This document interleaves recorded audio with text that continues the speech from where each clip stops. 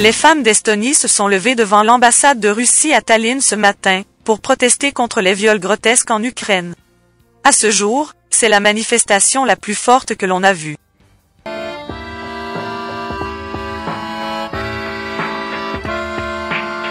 Bonjour à tous, bienvenue à Tallinn, capitale de l'Estonie. Ce pays bal d'un million trois cent mille habitants voudrait bien mettre l'Europe dans tous ses États sur deux thèmes, le numérique et la Russie. Car il est sorti du joug communiste en 1991, entré dans l'Union européenne et l'OTAN en 2004 et dans la zone euro en 2011. Et depuis, il sert de modèle d'e-démocratie car il a offert à ses citoyens le vote électronique et une carte d'identité numérique. Alors c'est vrai qu'il a subi une grande cyberattaque en 2007 de la part de la Russie et depuis il se méfie beaucoup de ce grand voisin qu'il ne voudrait pas voir influencer les russophones qui représentent un quart de sa population.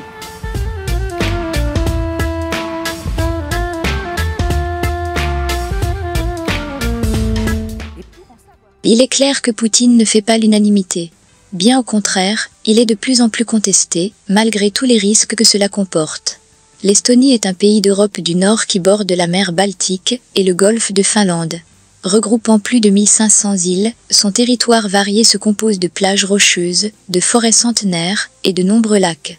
Cet ancien pays soviétique compte un grand nombre de châteaux, églises et forteresses juchées sur des collines. Tallinn, la capitale, est célèbre pour sa vieille ville préservée, ses musées et sa tour de télévision.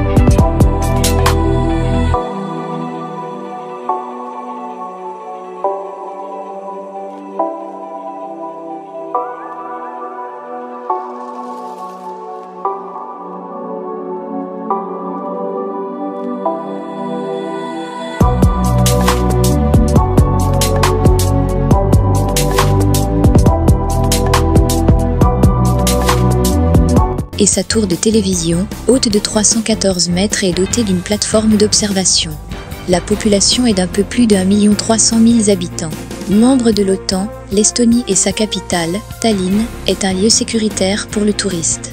A bientôt et soyez à l'écoute de votre station numérique, moncalm.tv pour un autre reportage d'actualité.